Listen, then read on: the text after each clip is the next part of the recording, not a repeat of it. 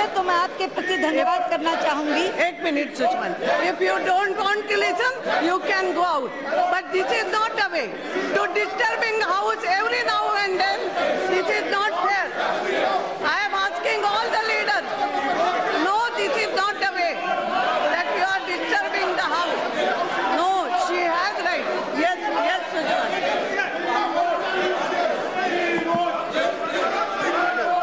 yes Arun ji अध्यक्ष जी Arun ji justice तो तभी अरुण होगा जी, जिस पर आरोप लगे हैं उसे बोलने का मौका दिया जाएगा जस्टिस कैसे होगा जस्टिस तो मुझे चाहिए अरुण जी बोल रहे हैं एक घंटा एक घंटा खड़के जी सुषमा जी के खिलाफ बोले हैं तो स्वाभाविक है कि अब खड़के जी उसका उत्तर भी सुन ले। क्या खड़के जी के जवाब इतने खोखले हैं? क्या इतने खोखले हैं? Is your claim so hollow that you not willing to listen to reply please no I am sorry I am sorry this is not fair आपने जिस आप एक तो आप वेल में से नहीं बोलोगे। आपने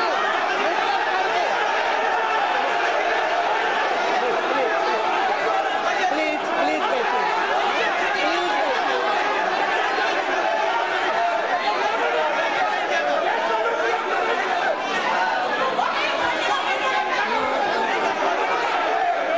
Please go to your seat. I am requesting Mr. Khadge as a leader. I am requesting Mr. Khadge as a leader. Please take all of them to the seat. एक घंटा आपने जिन पर आरोप लगाया you will have to listen. I am sorry. This is not fair. This is not fair. Mohammed Salim, take your place, Mohammed Salim. No. After this you can speak, but now you have to. No. You can. Please बैठिए. Please बैठिए. ऐसा नहीं होता है. You can. बैठिए बैठिए. अध्यक्ष जी Yes. ये भी चला दो बैठिए. ये भी चला दो मैंने सुबह कहा है ये लोग ये लोग अपना मौका देके बाद में धोखा देंगे यही कर रहे सुबह मैंने कहा भी आपको आपको कहा भी है ये घर को जो है, ये सुनने के लिए तैयार नहीं एक महिला से इतना डर रहे इतना डर रहे एक महिला से क्यों three fifty three three fifty three में उनका नाम लिया है उनका नाम लिया है हिम्मत होना चाहिए सुनने के लिए धैर्य रखना चाहिए सुनने के लिए सुने सुषमा जी बोलिए बोलिए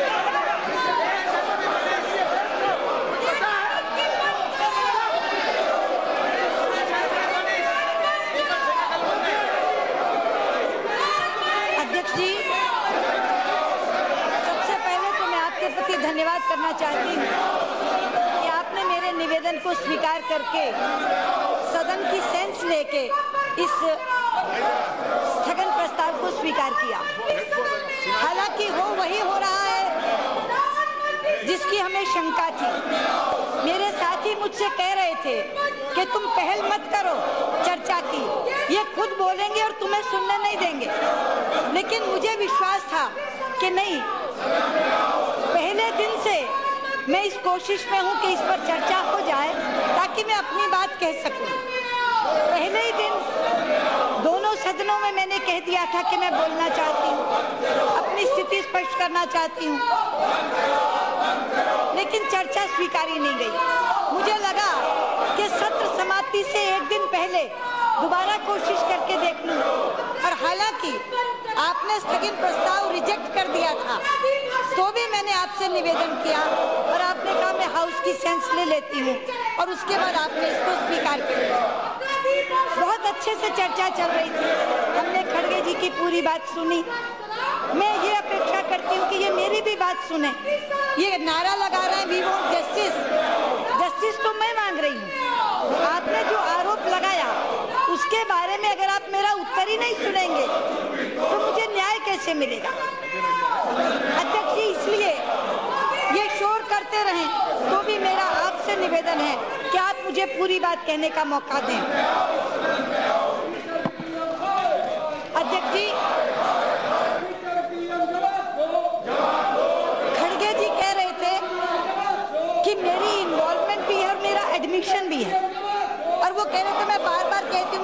की।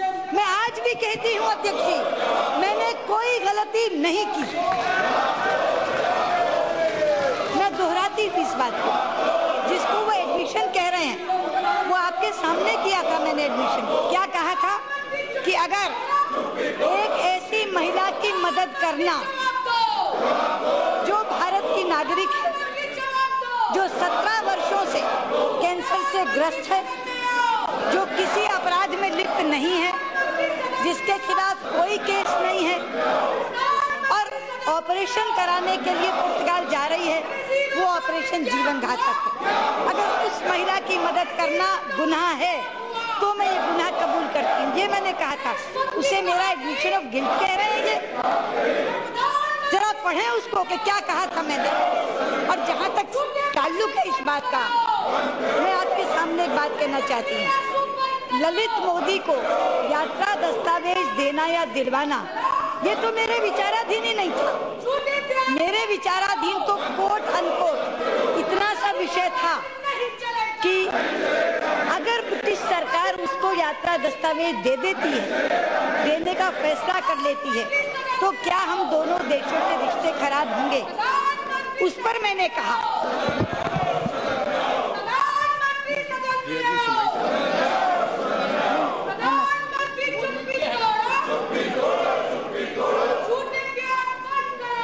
उस पर मैंने कहा जो मौखिक संदेश भिजवाया। British government should examine the request of Lalit Modi as per British if the British government chooses to give travel document to Lalit Modi that will not spoil our bilateral relation और यही उन्होंने किया भी। मैंने उस दिन UK home office का एक संदेश पढ़कर सुनाया था, जिसमें यूके होम डिपार्टमेंट ने कहा the UK home department on Monday claim travel document issue to former I P L boss Lalit Modi to travel to Portugal to assist railing by was determine in accordance with the appropriate rules British सरकार जब ये कहती है कि हमने ललित मोदी को सारे दस्तावेज़ अपने नियमों के तहत दिए हैं तो ये मुद्दा कहाँ रह जाता? एक नॉन इश्यू को ये इश्यू क्यों बना रहे हैं? और जब ये तय हो जाता है कि वो नियमों के अनुसार दिए गए थे तो बाकी के सारे प्रश्न निरर्थक हो जाते हैं, बेमानी हो जाते हैं। लेकिन उसके बावजूद ये विषय उठा रहे हैं। आज खड़गे जी ने कहा कि मेरे परिवार के लोग उसके वकील हैं, इसलिए कंफ्लिक्ट ऑफ़ इंटरेस्ट है। सभापति जी, मैं यहाँ खड़े होकर कहना चाहती हूँ, मेरे पति ललित मोदी के पासपोर्ट केस में वकील नहीं थे। और जहाँ तक मेरी बेटी का सवाल है, मेरी बेटी नौवे नंबर की जूनियर थी, नौवे नंबर की। ये केस की अपीयरेंस लिस्ट लाई हुई इस अपीयरेंस लिस्ट में ग्यारह वकील हैं, ग्यारह। पहले हैं मिस्टर पराग त्रिपाठी, जो सीनियर एडवोकेट हैं, जिसको उसने वकील किया, जिसका वो क्लाइंट बना। उसके बाद अनूप बोस, ऋषि अग्रवाल स्वदीप हुडा, मेनका, अभिषेक सिंह, रोहित गुप्ता, उमंग गुप्ता, नौवे नंबर पर बांसुरी कुणाल बहारी और विवेक। नौवे नंबर के जूनियर को कोई एक पैसा भी देता है? रुपया भी मेरी बेटी ने ललित मोदी से इस वकालत के लिए, इस केस के लिए हासिल नहीं किया।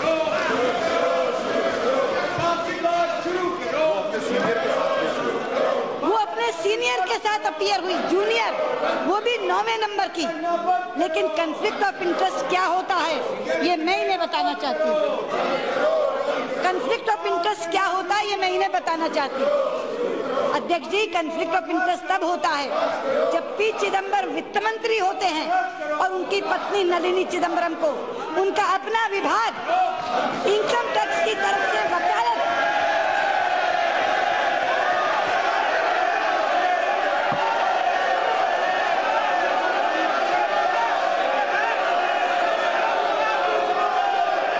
पी चिदम्बरम वकील होते वित्त मंत्री होते हैं और नलिनी चिदम्बरम को उनका अपना विभाग इनकम टैक्स की तरफ़ से वकील नियुक्त करता है और जब राज्यसभा में विषय उठता है, अन्ना डीएमके के एन ज्योति इस विषय को उठाते हैं तो चिदम्बरम सदन में आकर स्वीकार करते हैं पर क्या कहते हैं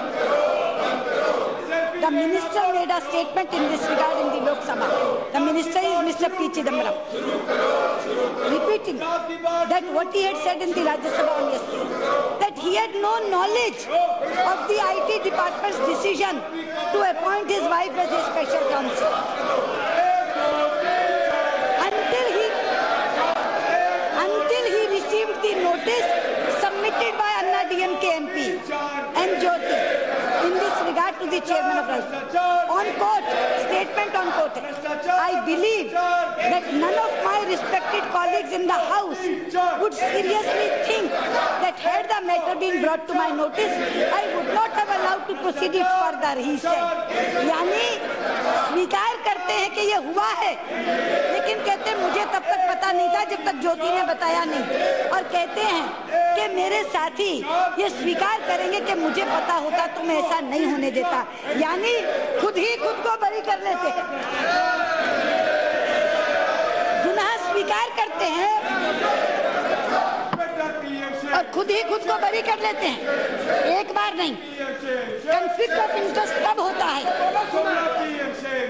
कंफ्लिक्ट ऑफ़ इंटरेस्ट तब होता है, जब पी चिदम्बरम वित्त मंत्री होते हैं और नलिनी चिदम्बरम शारदा स्कैम में, जिसकी फ़ाइल वो वित्त मंत्री के तौर पर देख रहे हैं, उस शारदा स्कैम में एक करोड़ रुपया लेकर के ड्राफ्ट से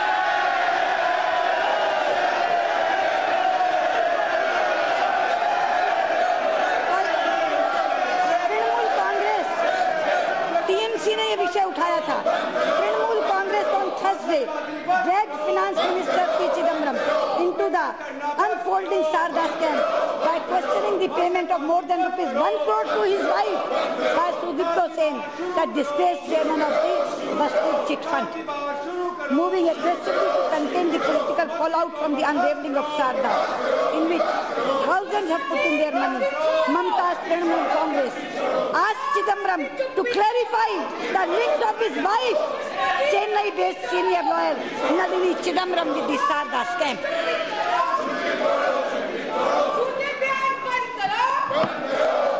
मेरे केस में कोई कंफ्लिक्ट ऑफ़ इंटरेस्ट नहीं है। मेरे पति ने एक नया पैसा इस पासपोर्ट केस में मेरे ललित मोदी से नहीं लिया। मेरी बेटी नौवे नंबर की जूनियर थी। एक नया पैसा उसे इसमें नहीं मिला। मेरा कंफ्लिक्ट ऑफ़ इंटरेस्ट नहीं है। Conflict of interest P Chidambaram का है, जब नलिनी चिदम्बरम पैसे लेती। दूसरा सवाल। मुझसे सात प्रश्न किए हैं। खड़गे जी ने उन सातों प्रश्नों का जवाब देने से पहले मैं इनके उपाध्यक्ष राहुल गांधी का जवाब देना चाहूँगी, जो बाहर खड़े होकर वो बोलते कभी कहते हैं, सुषमा स्वराज ने क्रिमिनल एक्ट किया है। क्रिमिनल एक्ट एक भगोड़े को साइन करके दे दिया। अभी अभी अरुण जी ने बताया। कि वो भगोड़ा नहीं था। किसी कोर्ट ने ललित मोदी को फ्यूजिटिव एब्सकॉन्डर या भगोड़ा घोषित नहीं किया हुआ। और साइन करके दे दिए। क्या साइन करके दे दिया? आप बाहर खड़े होकर के आरोप लगाते हैं। मैं आपसे पूछती हूँ, बताइए सुषमा स्वराज ने ललित मोदी को क्या साइन करके दे दिया? अभी खड़गे जी कहते हैं इनके परिवार के संबंध हैं, उन संबंधों के कारण ये मदद की गई। इसको अंग्रेज़ी में कहते हैं क्विड प्रो को वो क्विड प्रो को का आरोप लगा रहे हैं मुझ पर। और राहुल गांधी कहते हैं, जब चोर आते हैं तो छुप छुप के आते हैं। सुषमा जी ने जो काम किया है, वो छुप छुप के किया है। मैं कहना चाहती हूँ, अध्यक्ष जी, सुषमा स्वराज ने कोई काम छुप छुप के नहीं किया। अगर छुप छुप के किया तो क्वात्रोची को भगाने का तुमने किया।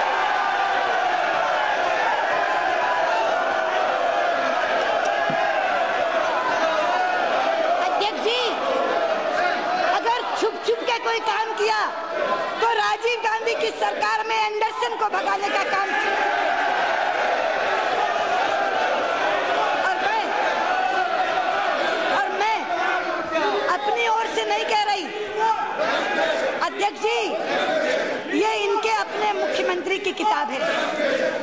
अर्जुन सिंह जी की ऑटोबायोग्राफी अर्जुन सिंह केवल मुख्यमंत्री नहीं थे, मध्य प्रदेश के। उसी पद पर थे जिस पर आज राहुल गांधी है। कांग्रेस के राष्ट्रीय उपाध्यक्ष थे। उस समय माँ बेटा अध्यक्ष उपाध्यक्ष नहीं होते थे। कोई ना कोई व्यक्ति और होता था। ये किताब है। ये किताब है इस ऑटोबायोग्राफी में। उस एंडरसन के भगाने का ज़िक्र। अध्यक्ष जी, आप मध्य प्रदेश की हैं। त्रासदी से परिचित हैं। यूनियन कार्बाइड की कंपनी से रात को जहरीली गैस का रिसाव हुआ। पंद्रह हज़ार लोग मर गए। कितने? पंद्रह हज़ार लोग। चार दिन बाद एंडरसन वहाँ आए।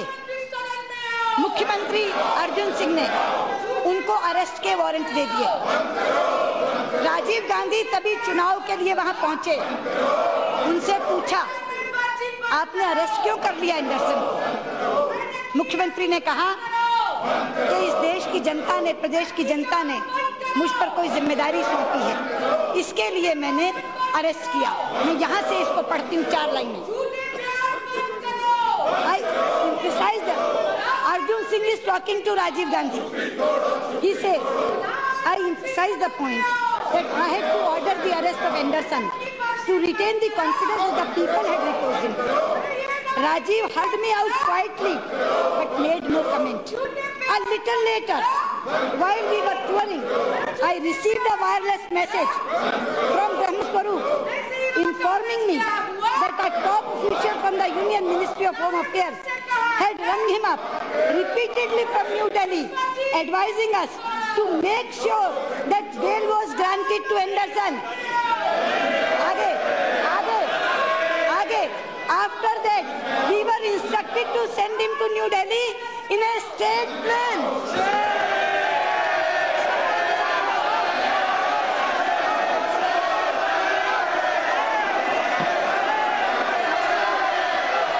Arjun Singh कह रहे हैं जब मैंने ये बताया मैंने उनको क्यों अरेस्ट किया था तो मुझे फ़ोन आया वायरलेस मैसेज और कहा उसकी तुरंत बेल होनी चाहिए और उसे स्टेट प्लेन से वापस भेजो आगे सुनिए ये आप ही की किताब है मुख्यमंत्री की किताब है early in the Early in the afternoon, Anderson was granted bail according to Indian law by the Bhopal district magistrate. The DIG of Bhopal, who was supposed to escort Anderson in the airport after instructions for his release were given, was not in town. Consequently सुनने की बात है। Consequently this task had to be done by Swaraj Puri very discreetly छुप छुप के अरुण जी ने बताओ discreetly की हिंदी क्या होती है? छिप छिप के डिस्क्रीटली की हिंदी क्या होती है? ये अर्जुन सिंह कह रहे हैं। Swaraj Puri had to done this job very discreetly The media did not immediately get to know that Anderson had flown out to Bhopal at 1 p.m. to Delhi and then to the USA.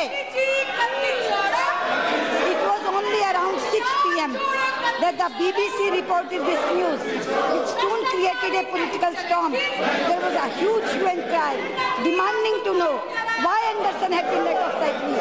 Anderson was flown out of India, never to return.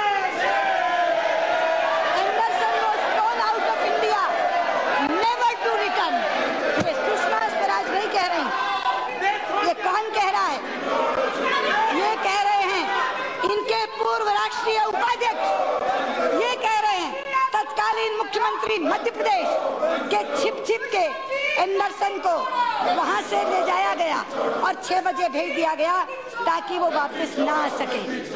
अध्यक्ष जी, इसका खुलासा थोड़े दिन बाद हुआ। ये सौदा क्या हुआ था, ये पता नहीं लगा। अर्जुन सिंह इसमें कहते हैं मेरे कान में राजीव गांधी ने कुछ कहा था, लेकिन वो राज राज ही रहेगा। मेरे साथ चिता में भस्म हो जाएगा, मैं बोलूँगा नहीं। लेकिन वो राज पता चला। वो राज़ी, राज कैसे पता चला? वो राज कब पता चला? छह महीने बाद। छह महीने बाद वो राज खुला। छह महीने बाद वो राज खुला। वो राज क्या था? राजीव गांधी का एक बचपन का दोस्त। गांधी परिवार के एक घनिष्ठ मित्र का बेटा, आदिल शहरयार, अमेरिका में 35 बरस के लिए जेल में बंद था। कितने बरस के लिए? 35 बरस के लिए जेल में बंद था। और वो 35 बरस के लिए जेल, कोई छोटी मोटी बात तो नहीं होगी जब 35 बरस की जेल 35 बरस की जेल के लिए बंद था। अब आप सुन लीजिए। Rajiv Gandhi government had allowed Anderson to flee as a quid pro quo arrangement with United States on giving a presidential pardon to one Adil Shahryar वो राज जो अर्जुन सिंह अपने अंदर दफन करके चले गए। वो राज छह महीने बाद खुला और क्या? Adil Adil's father, Muhammad Yunus, former Indian ambassador to Spain and long-time chairman of the State Welfare of India, was close to the Gandhi family. Adil, who was given a federal sentence of 35 years in prison for various crimes, was given a presidential pardon by United States President Ronald Reagan on June 11, 1985. ये वो तारीख है जिस दिन Rajiv Gandhi America पहुँचे Rajiv Gandhi America पहुँचते हैं 11 जून 1985 को, छह महीने, चार दिन के बाद। उनका वो बचपन का दोस्त, मोहम्मद यूनुस का बेटा, आदिल शहरियार, उसको कहते हैं राष्ट्रपति को इसको क्षमा दान दे दो और एंडरसन के बदले शहरियार को छुड़ा करके भारत लेकर आते हैं। मैं कहना चाहती हूँ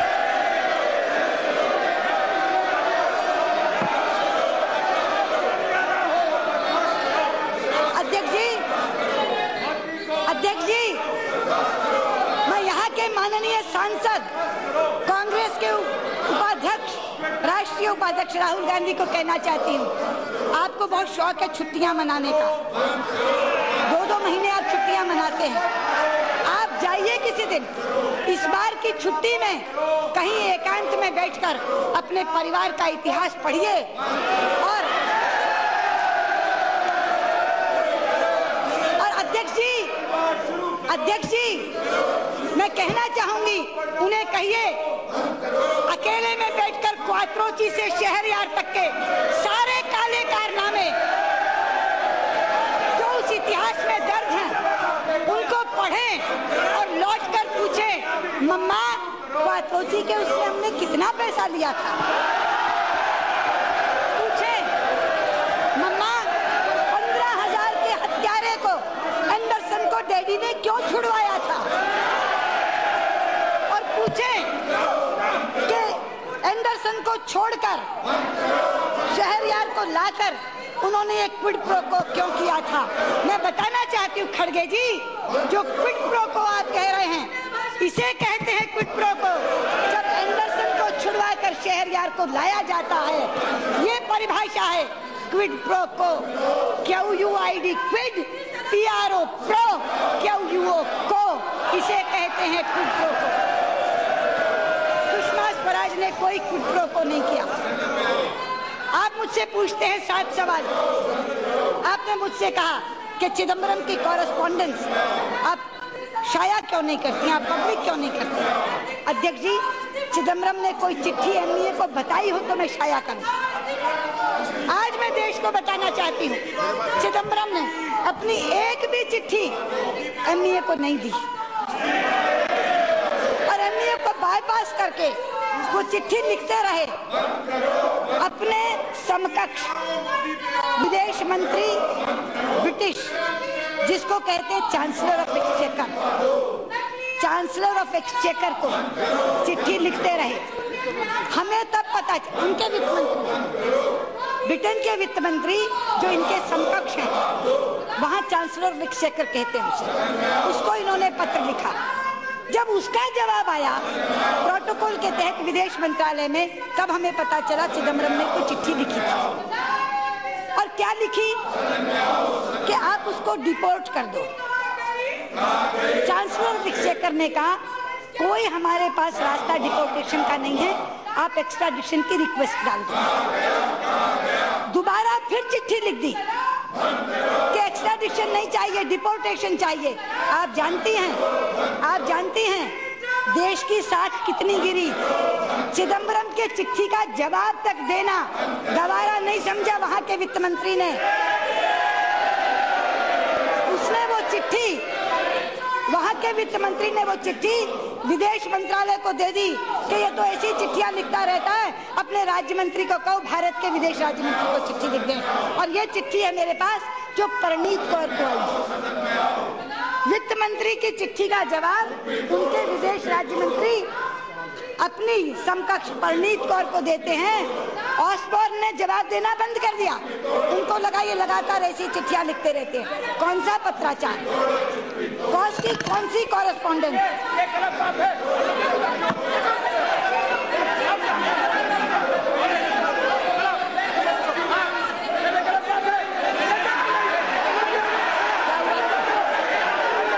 हुआ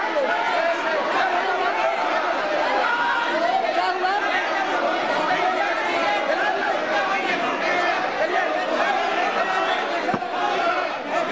सुषमा जी को बरामदा कर सकते क्या हुआ यहाँ आना चाहते हैं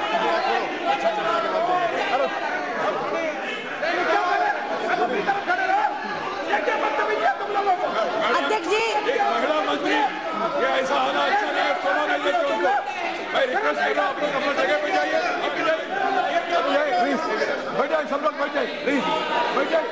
पूरा होने दीजिए कहाँ से अच्छा हो रहे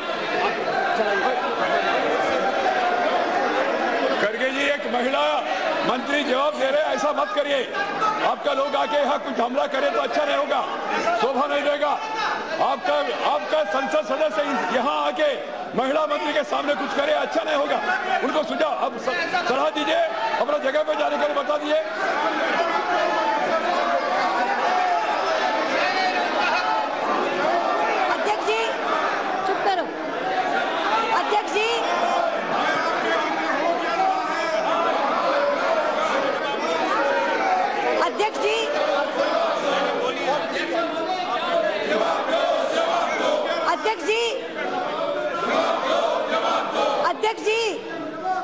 17 जुलाई को 17 जुलाई को ये चिट्ठी वहाँ के चांसलर ऑफ़ एक्सचेकर को हमें मिलती है। तो हम हैरान होते हैं कि चिदम्बरम जी ने कब चिट्ठी लिखी उसको। 17 जुलाई को ये चिट्ठी हमें मिलती है तो हम कहते कौन सी चिट्ठी का जवाब है? ये चिट्ठी कब लिखी चिदम्बरम जी ने? लेकिन उसमें उनके वित्त मंत्री लिखते हैं for UK assistance to be provided in any criminal investigation an extradition request should be made under the usual mechanisms for international judicial cooperation. We will then of course provide full assistance so far as UK law is concerned. अध्यक्ष जी बार बार UK कह रहा है हमें extradition request भेज दो हम उसको वापस भेज देंगे लेकिन एक्स्ट्राडिशन रिक्वेस्ट नहीं भेजते डिपोर्टेशन की बात करते हैं। और उसके बाद जब दोबारा ये चिट्ठी लिखते हैं तो वो चिट्ठी विदेश राज्य मंत्री को कह देता, तू जवाब दे दे। मैं जवाब नहीं दे सकता। ये तुमको तो आदत पड़ गई चिट्ठियाँ लिखने की। और उसके बाद ये कह, परनीत कौर को जवाब आता है। परनीत कौर। चिदम्बरम की चिट्ठी का जवाब परनीत कौर को आता है। चिदम्बरम को चिट्ठी लिखना गवारा नहीं करता उनका समकक्ष मंत्री। और उनको वो फिर लिखते हैं। My letter refers to the most recent correspondence from the Honorable Minister of Finance, Mr. P. Chidambaram, dated 28th August to the Chancellor of Exchequer requesting the deportation of Lalit Modi and जैसे हम deport नहीं कर सकते अध्यक्ष जी मुझसे सवाल पूछते हैं खड़गे जी उसे राइट ऑफ़ रेसिडेंसी कैसे मिला अरे कौन किससे पूछ रहा है भैया right of residency Arun Jaitley के वित्त मंत्री बनने पर थोड़ी मिला रेजिडेंसी तब मिला जब तुम्हारी सरकार थी चार साल। ये सवाल मैं पूछती हूँ आपसे।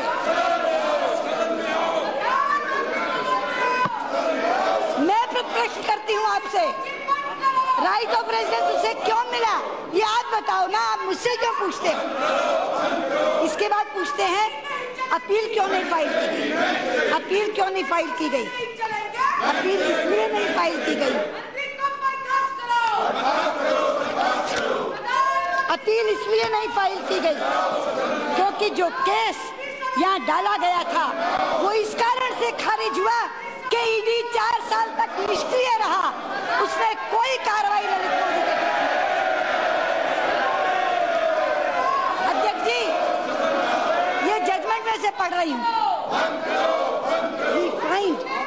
that on the basis of the material available on record, the complaint under section 16.3 of SEMA, which was registered on 16-9-2010, has been followed by a show cause notice dated 29-2010, which essentially requires the appellant to show cause as to why an inquiry should not be held. The matter has not progressed beyond that stage.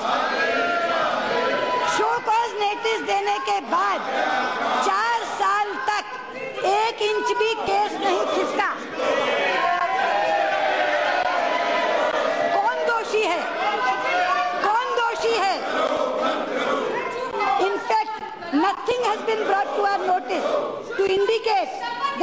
Adjudicating authority has formed any opinion that an inquiry should be held or that an inquiry has been held. इसलिए appeal file नहीं हुई क्योंकि आपने केवल show cause notice दिया चार साल तक एक इंच भी कार्रवाई नहीं हुई और इस कारण से उन्होंने उसका पासपोर्ट वापस कर दिया अब जब अरुण जी आए जब अरुण जी आए, तब इन्होंने कार्रवाई प्रारंभ की है। अब ये लोग कार्रवाई करेंगे तो कहीं दोबारा से केस चालू होगा।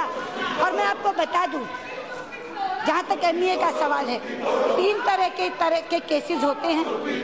एक केस होता है, जो हम खुद फ़ाइल करते हैं, जो पासपोर्ट का ऑफेंस होता है। उसमें अगर हम हार जाते हैं तो अपील हम करते हैं। एक होता है जहाँ ईडी एफ़ आई आर करता है। वहाँ अगर हम किसी ईडी के कारण हार जाते हैं तो वो हमें कहते अपील करें तीसरा सीबीआई का होता है।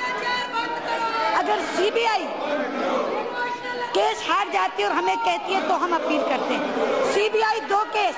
कोयला घोटाले में हारी किसमें कोयला घोटाले में। सीबीआई ने हमें नहीं कहा अपील अपील दायर नहीं तो मैं आपसे कहना चाहती हूँ। अपील फ़ाइल नहीं हुई आपके कारण। राइट ऑफ़ रेजिडेंसी उसे मिला आपके कारण। वापस वो क्यों नहीं लाया जा सका? आपके कारण क्योंकि आपने एक्स्ट्राडिशन रिक्वेस्ट नहीं डाली। आप मुझसे पूछते हो। आप मुझसे पूछते हो कि मैंने उसकी मदद की। अध्यक्ष जी, अड़तीस साल से राजनीति में हूँ। थर्टी एट ईयर्स अड़तीस साल से। जिस मर्यादा और संयम से राजनीति की है वो तपस्या जैसी चीज़ होती है तपस्या जैसी आप साक्षी रही हैं मेरे राजनीतिक सफ़र की एक तिल भर दाग नहीं लगा मेरे दामन पे एक तिल भर दाग धब्बा नहीं लगा आज जीवन के इस पड़ाव पे आकर के मैं अपनी तपस्या भंग करूँगी। ये मुझसे किन चीज़ों का सवाल मांग रहे हैं? इन सारी चीज़ों के गुनहगार ये स्वयं हैं खड़गे जी आपके सातों के सातों सवाल का जवाब ये है। चिदम्बरम ने कोई चिट्ठी मुझे नहीं लिखी एमईए को, जो मैं शाया करती, आपने एक्स्ट्राडिशन रिक्वेस्ट नहीं डाली। यूके कहता रह गया, लेकिन आपने नहीं डाली। आपके ईडी ने कोई कार्रवाई नहीं की। चार साल तक वो चुपचाप करके बैठे रहे। और क्यों बैठे रहे, ये भी बता दूँ। इस केस पर कांग्रेस नेतृत्व को बटा हुआ था। एक खेमा चाहता था ललित मोदी के खिलाफ कार्रवाई हो। दूसरा देना चाहता था, नहीं। जो चाहता था कार्रवाई हो, उसका नेतृत्व चिदम्बरम स्वयं कर रहे उस खेमे में और कोई नहीं था। वो अकेले थे। इसलिए वो कोई भी प्रक्रिया नहीं निभाना चाहते थे। उन्होंने एक पल्ला पकड़ा विजय, वित्त मंत्री यूके का, कि डायरेक्टली खतो खिताबत करके डायरेक्टली कॉरेस्पॉन्डेंस करके मैं केस को आगे बढ़ाऊं। अगर ईडी को कहते तो नेतृत्व रोक देता। एक्स्ट्राडिक्शन का रिक्वेस्ट डालते तो पता चल जाता। इसलिए अपनी व्यक्तिगत शत्रुता के कारण उन्होंने एक ऐसा रास्ता निकाला, और आज भी इनको पट्टी वही पढ़ा रहे हैं। इनको गुमराह वही कर रहे हैं। ये सातों सवाल जो खड़गे जी ने पूछे, ये चिदम्बरम ने लिख के दिए। वो मीडिया में भी पूछ रहे हैं, लेकिन मैं चाह रही थी कि संसद में खड़े होकर जवाब दूँ। जो कहते ना नेशन वॉन्ट्स टू नो मेरा राष्ट्र यहाँ जहाँ हर दल के प्रतिनिधि बैठे इसीलिए मैं बार बार कह रही थी, ये सत्र नहीं निकलना चाहिए। मैं वेंकैया जी से कह रही थी, किसी भी के तहत चर्चा करा लो, लेकिन मुझे बोलने का अवसर दो, ताकि मैं बताऊँ गुनहगार ये हैं, गुनहगार मैं नहीं हूँ। चाहे आज मुझे शोर शराबे नहीं बोलने का मौका मैं चाहती थी कि इस सारी बात को शाइस्तगी से, शालीनता से यहाँ रखूँ। खड़गे जी अपने आप तो बोल के चले गए और मेरे समय में इन सबको शोर शराबा करने के लिए खड़ा कर दिया। पर धन्यवादी हूँ आपकी। कम से कम इनके शोर शराबे में आपने मुझे बोलने का मौका दिया और मैं अपना पक्ष रख सकी। बहुत बहुत doctor P Venugopal. P Venugopal ji. Zwicker. Yeah.